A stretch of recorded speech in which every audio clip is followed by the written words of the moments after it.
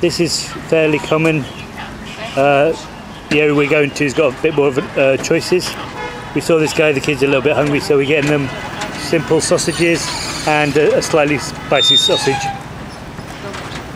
So let's just fill them up, and they're very cheap.